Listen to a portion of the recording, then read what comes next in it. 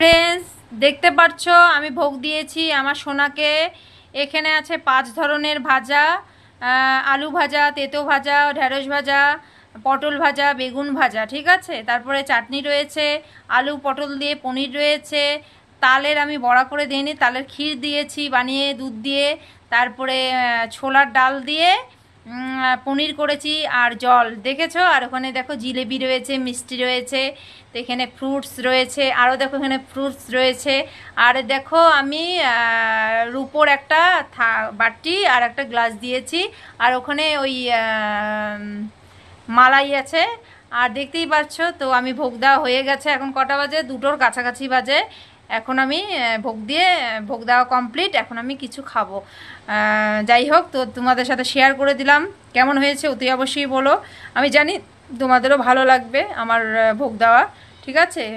তো ঠাকুরের জন্য তো এতটুকু করতেই হবে, কারণ ওর জন্মদিন বলে কথা।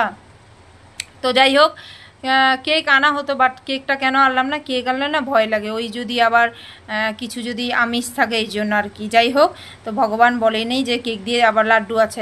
দেখতেই পাচ্ছ, ওই হাঁড়িটা দেখতে পাচ্ছ? ওই হাঁড়িটা নিয়ে ভিডিও আসবে, খুব তাড়াতাড়ি আসবে। আমি আগে খেয়ে ফেয়ে নেই, আসবে। তো আমার এখানে কমপ্লিট এখন দুটোর কাছাকাছি বাজে, তা চলো, রাখছি। সবাই ভালো থেকো, শুভ জন্মাষ্টমী। ঠিক আছে?